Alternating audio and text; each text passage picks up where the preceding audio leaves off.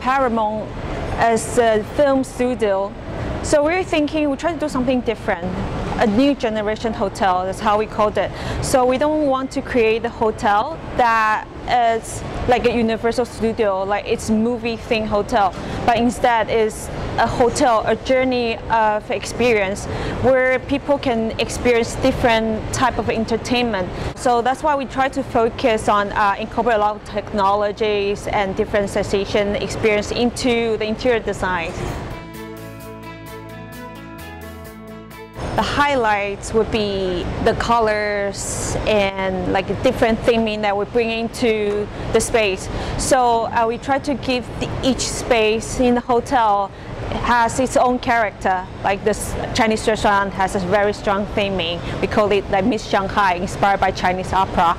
And like all day dining, inspired by the movie Roman Holiday and the pool is inspired by the California lifestyle. So when people, uh, the guests come to the hotel, they like goes to different spaces. It's totally different new experience.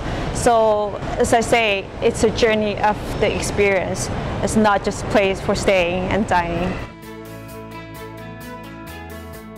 I think it's a fantastic opportunity to meet the peers, uh, the fellows in the same industry. So not just a designer, but also you get the chance to meet the people like the investor, developers, and suppliers, and then share the thoughts. And you'll be surprised that actually here you find a lot of opportunity, like some difficulty that you're wondering how you're going to solve for the project. And, and here you meet the right people. So it's a very good event and bring everyone together.